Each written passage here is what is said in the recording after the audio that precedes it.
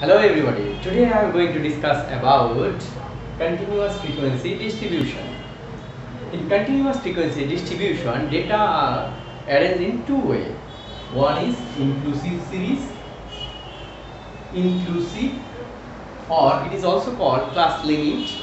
Another is exclusive, exclusive. Inclusive data included in the group, exclusive data excluded in the next group. So, how we identify the inclusive or exclusive method or class limit or class boundary? In this way, just hold your horse. I will discuss about or I give an example in different way. Okay, to see this is one group of data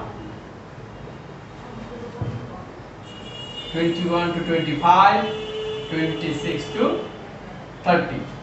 In inclusive method or class limit method, upper class limit of two groups, this is the upper class limit of this group and lower class limit of this group.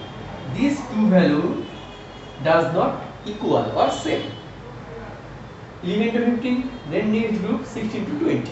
So there is a gap. Value not equal or not same. This group of data called inclusive data or class limit.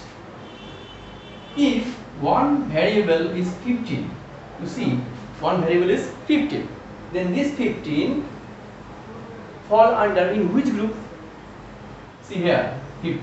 So this 15 included in this group. In this group 15 will include it. This is the inclusive series or class limit. And exclusive, see if the data 10 to 15, 15 to 20, 20 to 25, 25 to 30. Notify here the upper limit of this group and lower limit of this group are same.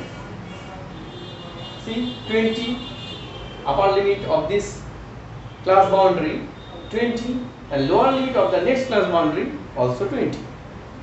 This is the same value, same or equal value. This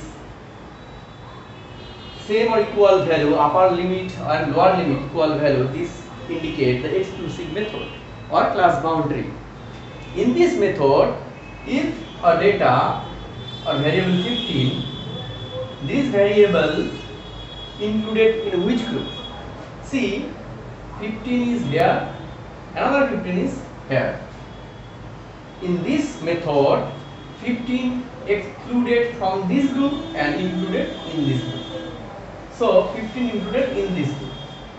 That is why this method called exclusive series or exclusive method or class boundary method.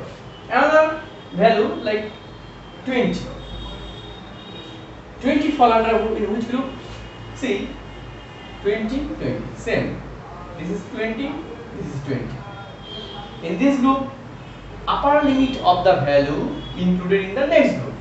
Upper limit in this group 20. So 20 must go on this group. In this group, 20 fall under this group. So that is why this method is called exclusive. Excluded from the upper limit of the value and fall under next group. That is why this method is called exclusive. These two inclusive and exclusive method very important in our statistics. In next video, I will discuss about how you arrange the inclusive and exclusive data and frequency distribution. Thank you. Bye.